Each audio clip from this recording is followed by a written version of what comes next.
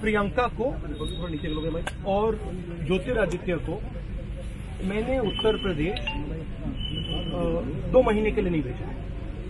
मैंने प्रियंका को और ज्योतिरादित्य को मिशन दिया है कि उत्तर प्रदेश में कांग्रेस पार्टी की जो सच्ची विचारधारा है, गरीबों की विचारधारा, कमज़ोर लोगों की विचारधारा सबको लेकर आगे बढ़ने की विकास की विचारधारा उसके लिए है। और मुझमें पूरा भरोसा है कि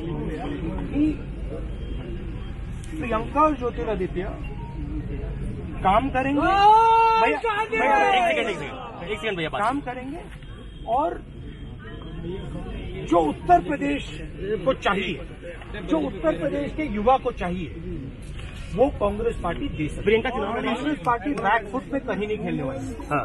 कांग्रेस पार्टी फ्रंट फुट पे खेलेगी। हाँ। कांग्रेस पार्टी अपनी विचारधारा के लिए लड़ रही है। और चाहे प्रियंका हो चाहे ज्योतिरादित्य हो हाँ। कांग्रेस पार्टी के बहुत पावरफुल नेता हैं लीडर्स हैं।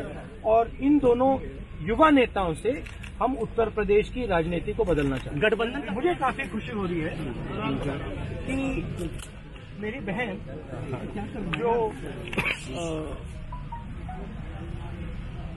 बहुत केपेबल कर्मठ है कि वो मेरे साथ अब काम करे। तो मुझे मुझे पर्सनल भी बहुत खुशी हो रही है।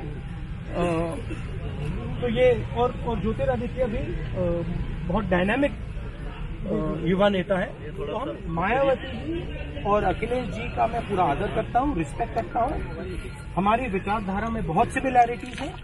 हमारी लड़ाई बीजेपी के खिलाफ है और जहाँ भी हमारा कोऑपरेशन हो सकता है, मायावती जी के साथ, अखिलेश जी के साथ, हम कोऑपरेशन करने के लिए तैयार हैं।